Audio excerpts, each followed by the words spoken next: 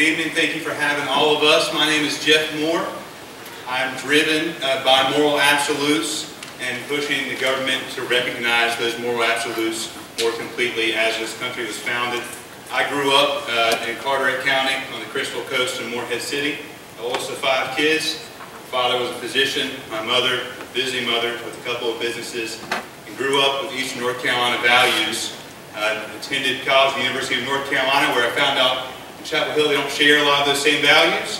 And then had a career in financial services as an equity trader, then on to the governor, uh, administration of Republican Governor Pat McCrory, back to the private sector to push for conservative uh, values and pushing our country back atop the principled foundation it was built upon. Would encourage you to check out jeffmooreforcongress.com to learn more about me and my positions. And again, thank you for having us all here tonight. I do not plan to compromise uh, with the majority party in the U.S. House. If you're looking for a candidate that is interested in working with Democrats, then I am not your candidate. Uh, what I will do is fight tooth and nail for our conservative values and be as loud and articulate a voice as possible for those values, for the principles that underlie them, why they make our country great, and why we should realign our country back atop of them. Be this only through delivering that message far and wide, a winning message that will win back the U.S. House, have a majority where we can actually affect the kind of change we want to see. With a professional background as a geopolitical analyst, uh, understanding how capital markets flow around the world, I think that the, some of the trade policies with the tariffs would be an area uh, where I would differ in application and say that to say that his main thrust in approaching that issue is absolutely spot on. There are uneven playing fields across the world that disadvantage the United States at the expense of all of us in this room uh, for the benefit of nations that are our adversaries and will continue to be our adversaries for years to come. We need to approach that in a very serious way. And I applaud President Trump for the audacity uh, with which he's approached that issue. I think that we need to take more targeted approaches to punishing some of the countries that take advantage of all of us uh, in their trade practices. And we can do that through sanctions regimes and other areas where we can actually hold some of the individuals in these countries with government relations accountable for their actions because it's very important as we work toward the future, uh, that countries like China uh, understand that we're not just going to lay over as they take advantage of us. I grew up down east amongst people that whose families have been fishing for a living for generations. Um, familiar with how important that is. And first and foremost, what I hear most often is that in any regulatory regime with commercial fishermen and watermen, uh, they have got to have the biggest seat at the table It's got to be a big captain's chair for them to sit in and drive that conversation because we can't have bureaucrats in Washington or in Raleigh dictating the rules for our commercial fishermen that could drive them out of business.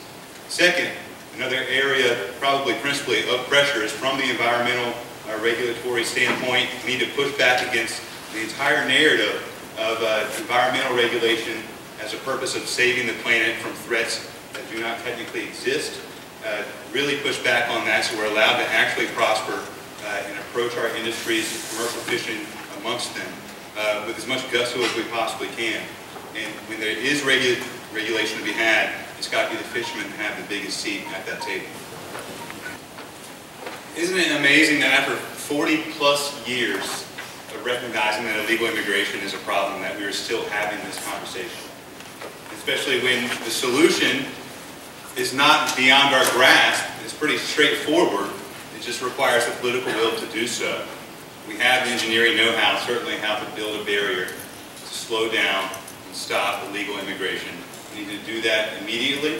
In the preamble of our Constitution, it says to secure these blessings of liberty. We cannot secure those if our nation's borders are not secure.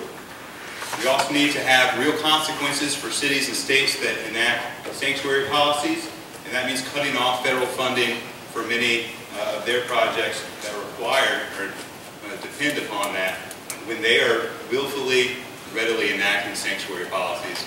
And finally, on a larger scale, need to tackle the whole welfare system itself that creates an enormous incentive for people around the world of means to come here, and if they're not able to provide for themselves, latch on to a system that provides for their every need at our expense.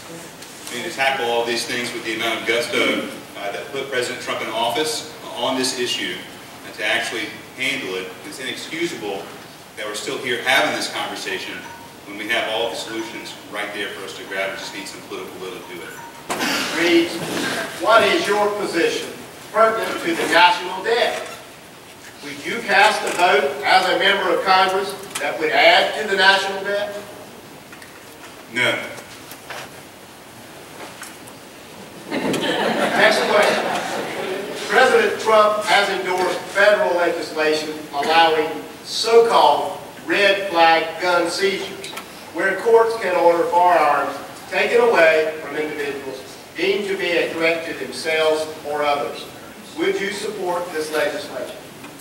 I would not, and I think this is a dangerous area uh, where good intentions uh, lead to really bad results. If we enable the government to make those kind of calls, uh, that definition gets broadened uh, to a point where people are, are disabused of their rights. The term shall not be infringed means exactly uh, what is written there. That should be taken literally, uh, even when we have the best of intentions for making sure that violence with firearms does not happen. We need to approach it in a way that respects everybody, individual's rights, and not open a process up uh, for people with bad intentions uh, to infringe upon the rights of people that may not have done anything wrong. I would not support those red flag laws. Thank you to everybody for being here and sitting through all of this. Uh, Again, my name is Jeff Moore, jeffmooreforcongress.com. I mentioned in my opening that I'm driven by moral absolutes. I believe many, if not all of you, are too, and our, our eternal frustration is that our nation is not governed according to those moral absolutes we are founded upon.